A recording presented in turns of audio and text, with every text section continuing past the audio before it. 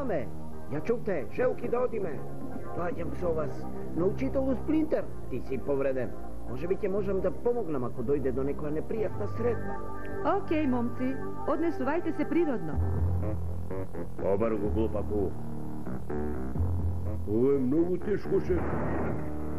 Лела.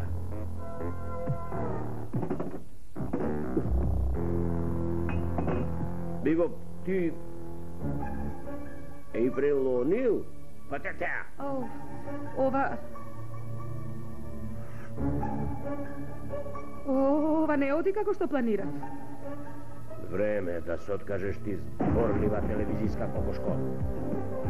Што? Жалките. Многу си умен метална глава.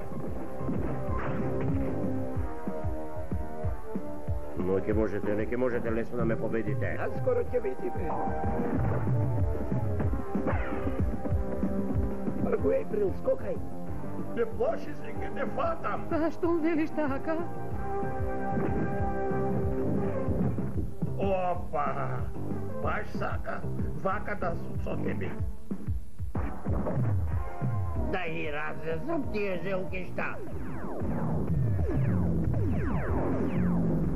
Гледај каде пукаш ти тапоглав глупаку. Кажи папа, глупчо.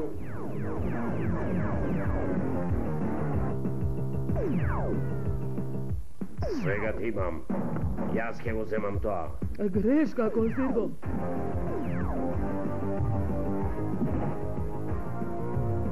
Еј, касните малку, лазерски куршуми желки.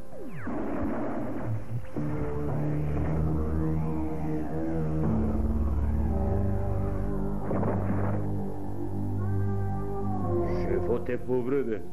Мораме да го извлечеме од таму.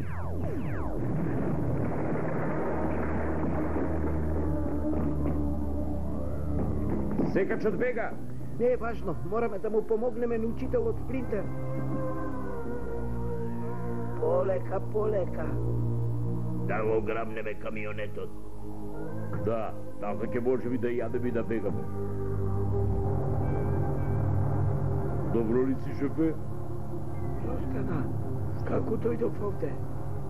Што стана? Отпуштете се. Избегаме на желките и глушецот. Шефе?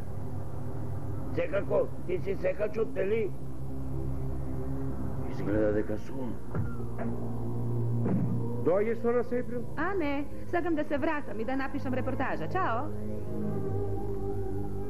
Добро ли си учителу Сплинтер?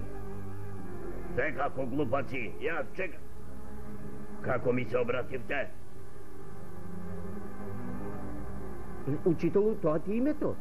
Јас сум во телото на Сплинтер. Случката во лабораторијата дојде до неутронска промена на свеста. Добро сум, желки мои. Бев малку растресен од несреќниот случај. No problems. Ќе се однесеме во засолништето со брза брзина. Тоа и сакам, ученици мои. Токму тоа и сакам.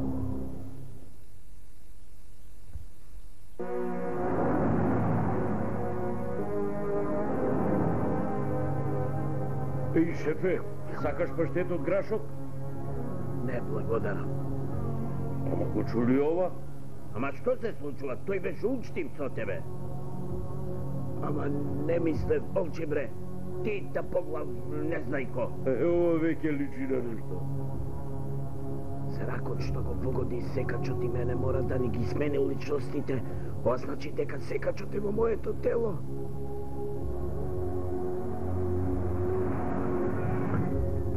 Сите влегувајте во техногромното летало. Подобро да побрзаме, шефе, веќе доцниме. Ова ми е можност да дознаеме каде е технодромот. Не смеам да ја пропуштам. Јас овде издавам наредби свинска главо. Ова побошо. Се надевам дека желките ќе препознаат оти секачот е во моето тело. Морам да најдам начин да им помогнам. Леонардо, сега сум многу подобро. За не смеам да го тренам црниот превес од очиве. Тоа е за твое добро, учителу. Од тоа ќе ти отпадне отокот. Канализација сладки доме. Значи ова е дублото на желките. Штета што не можев да ја видам по кој пат дојдов овде низ ходнициве со превезо преку очи. Не важно. Нема да морам од мрдам од овде дека не бидат уништени. Може ли да направиме едно манџиче земјаци? А, како што би рекол ти, супер идеја, момче младо.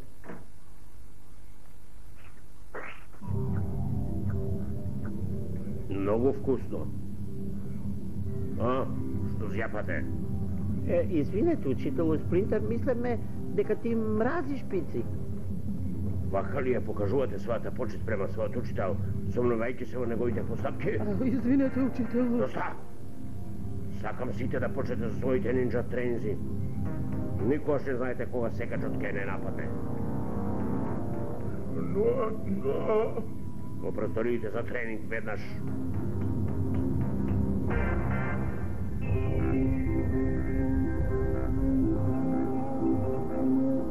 Внимателно со тоа, тоа е единствениот електронски индуктоскоп што ни остана. Ми донесете ли двоен термогалванометр, како што ви реков? Се појавија непредвидени тешкоти. И од други зборови налетавме на желките. Не А, сакам. можевме да ги победиме, но тие не сакаа нечиста борба. Посакувам да имам раце, за да ти ги покријам ушите. Без хајде, Кренк. Веднаш ќе се вратам и ќе го украда механизмот што ти е потребен. А така ли? Јасно. Не успеав и моја должност е да ја поправам грешката. Секачу, сигурен ли си дека ти е добро? Апсолутно. Со што се чувствувам како нова личност. Морам да најдам начин да ги извршам префрлувањето на свеста. Кренк мора да го знае начинот. Но како да го натерам да ми каже, без да му го потикнам сомневањето? Да видам, народе. Сплинтер се однесува супер чудно. Се прашувам, да не сторитме нешто да го вознемириме толку? Доста со овие детски играња. Ќе ви покажам како се бори вистински нинџа борец. Нападнете ме. Сигурен ли си, учителу? Реков напаѓај.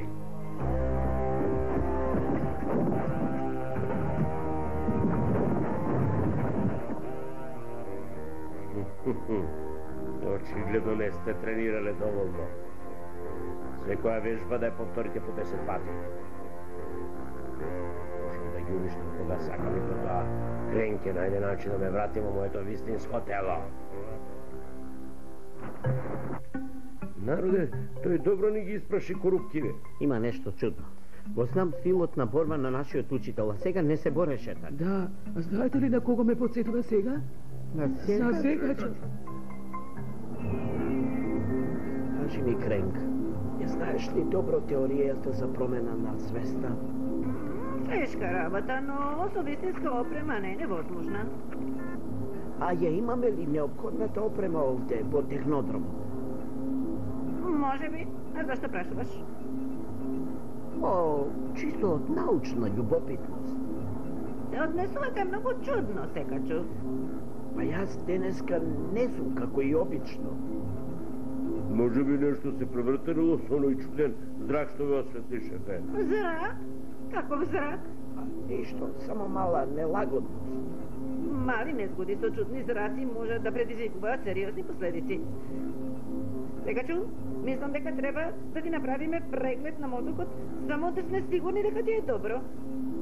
Ама тоа не е потребно, Кренк. За жал, ќе морам да инсистирам. Ова е наистина губење време, Кренк. Јас ќе пресудам за тоа. Сега биди мирен.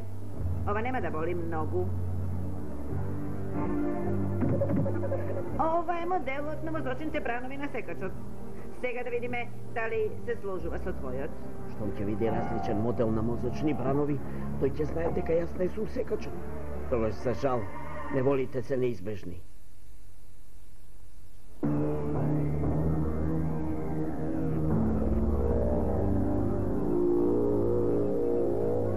Овај втор модел на мозочни бранови изгледа непознати. Само една шанса. Морам да го контролирам своите мозочни бранови, да ги направам да се совпаѓаат со тие на Изгледа секачен. дека малку е избрзав. А, моделите се совпаѓаат. Сваќаш секачу? Човек никогаш не треба да биде премногу сигурен. Сваќам. Може би ќе можеме да го продолжиме разго- разговорот за процесот на трансформацијата. Немам време за такви дискусии кога технодромот треба да биде итно поправен. И морам да го имам тој термогалванометар. Како што сакаш. Добро? Доведи ги Бибоп и Рокстеди со тебе. Те молам. Ајде вие двајца.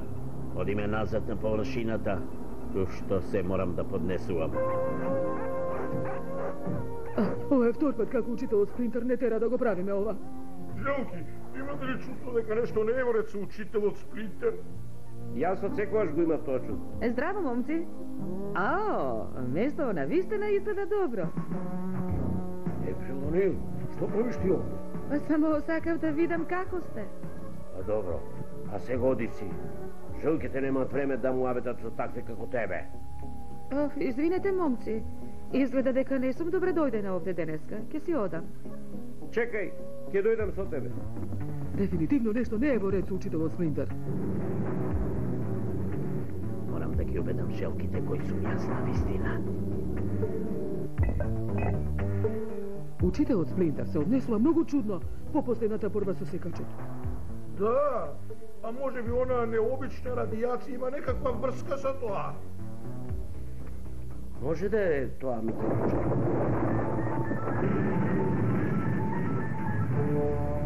Што беше ова? О, она, она е некако вид подземно транспортно средство.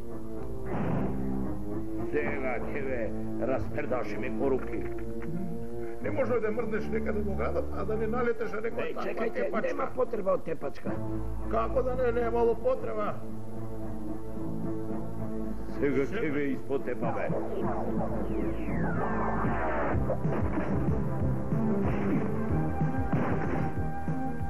Ау, ама вест. Со тебе сврчено лице, синско. Влегуваш во минатото.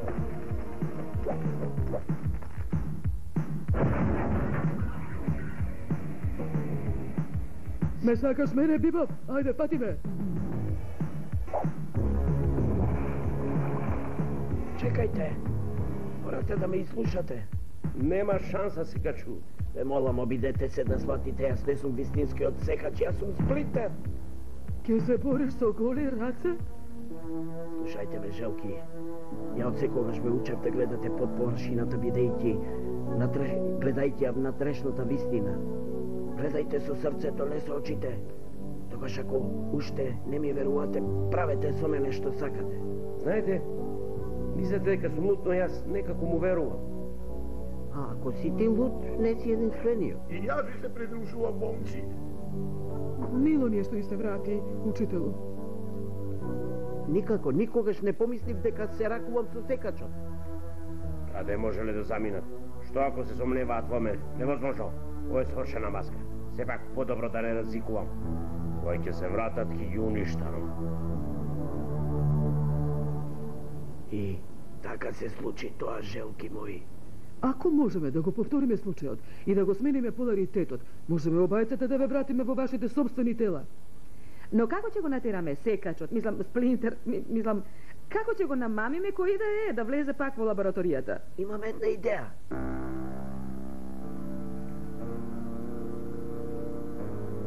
Желки, како сте се смели да излезете без дозвола? Извинете, учителу, но ова не е важно. Го најдовме секачот.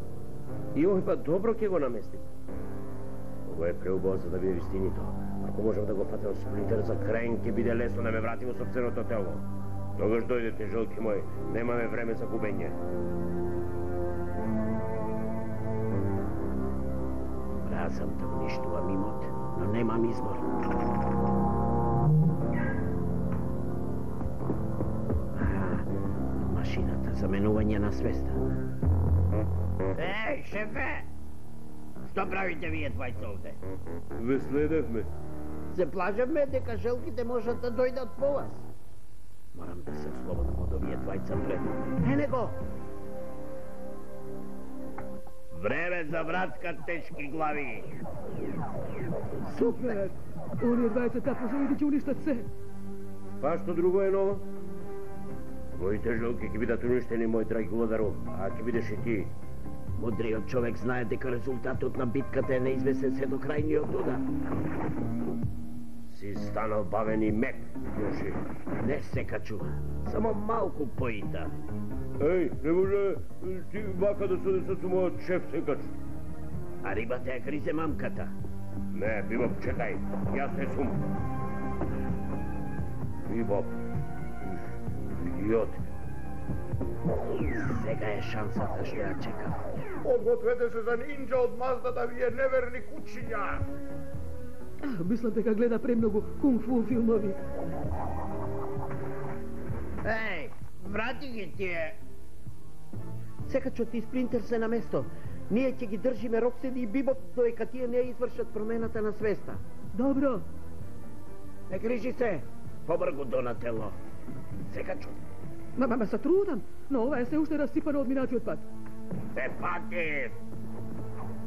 Среќе пат главо рогата. Помоли се на Бога, мајмуне.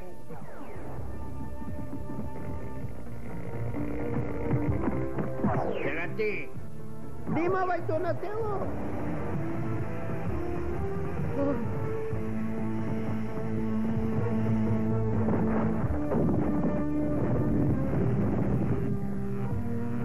ова ќе експлодира.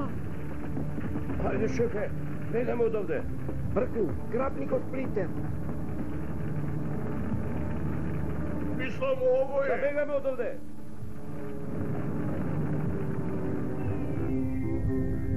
Дајте да појасниме, шефе. Вие бевте Сплинтер. А Сплинтер беше на ваше место? Точно. Боже, баше добро што ова сменување на мозокот не ни се случи мене и на Бибо. Без гајле, глупчо. Не можеш да замениш нешто што не постои.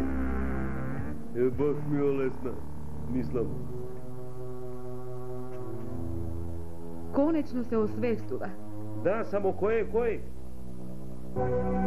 Ви благодарам, желки мои. Се вратив во својата стара форма. Ох, ми олесна. Одиме до натело. Чекајте, момци. Како ќе сме сигурни дека е вистинскиот Сплинтер? Има само еден начин да дознаеме. Сакате малку пица, учителу? Те болам. Тргни ми ја од тука. Ха, какво прекрасно задоволство. Мило ми е што си пак дома. Поубаво за мене ако се направат известни напори за да биде подот и чистен. Правот избришен од скромниот медел и се што треба да се исчисти да е исчистено.